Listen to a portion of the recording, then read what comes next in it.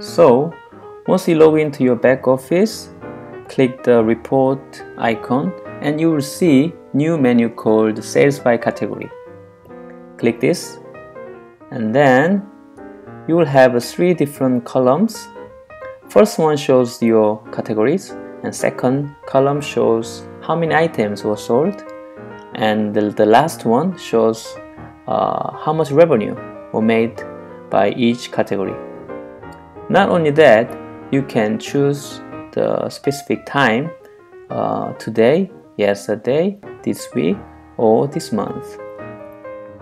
Also, uh, if you click this calendar icon, uh, you can more customize the time and then confirm.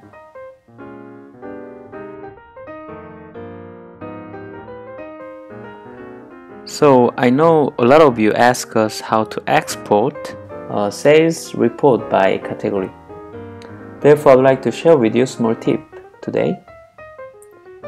You simply drag the, the report from the top to the bottom and then press Ctrl C or Command C depending on your operating system. Next, uh, open your Excel once it's opened, you simply press Ctrl V or Command V. That's it.